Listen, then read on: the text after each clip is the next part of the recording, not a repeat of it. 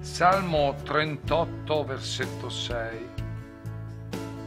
Sono curvo e abbattuto, triste, vado in giro tutto il giorno. Ci sono persone che non si liberano del peso che portano nel cuore.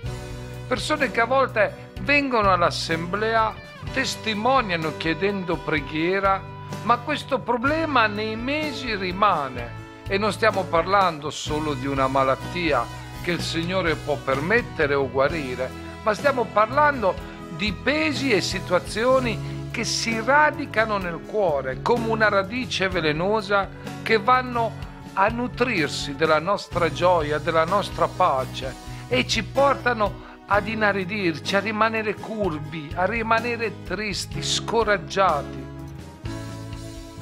E questo può andare avanti per diverso tempo, fino a quando non si può arrivare a vivere una depressione spirituale. Abbiamo conoscenza di questo Dio, andiamo nella comunità, preghiamo, leggiamo, ma non cambia mai niente e sembra quasi che la nostra fede sia diventata sterile.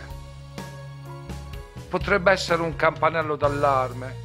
Se questa situazione è quella che viviamo quest'oggi, c'è solo una soluzione ed è rimanere e cercare la faccia del Signore alla croce, perché è lì che i pesi rotolano via.